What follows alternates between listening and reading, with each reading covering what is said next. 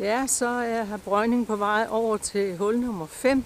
Og det er det her fantastisk smukke hul hen over krateret. Nu skal I se. Men morgensol klokken den er kun en gang 9. Vi er tid op ved 8 tiden. Øh, jeg prøver lige at vise jer. Jeg håber, I kan se det. Øh, ja, det er fantastisk smukt over det her krater. Så har vi hullet lige derovre. Der har vi green. Så øh, nu skal jeg have brønden til at tage øvesving, og her har vi vores løsbådhavn lige bagved.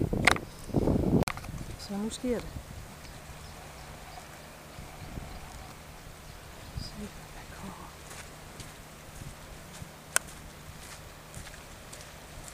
Ja. Han ser ikke sådan lige umiddelbart glad ud, så øh, kom du på?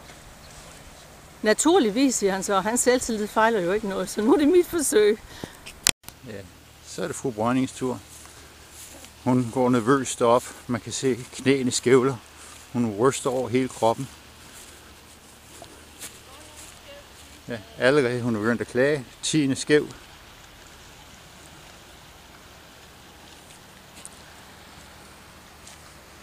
Vi kommer lige lidt herover, hvor vi kan få et bedre billede.